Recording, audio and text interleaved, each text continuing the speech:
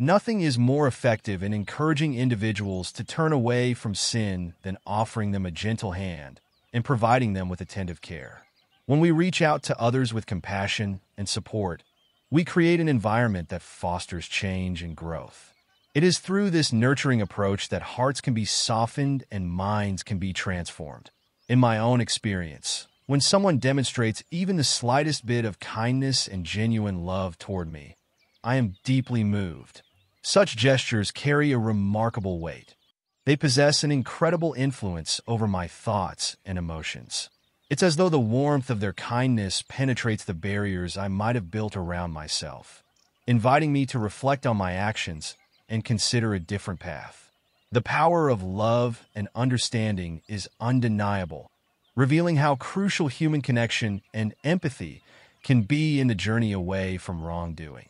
Therefore, Extending kindness and watching over others with tenderness can have profound effects, guiding them toward a life enriched with hope and virtue.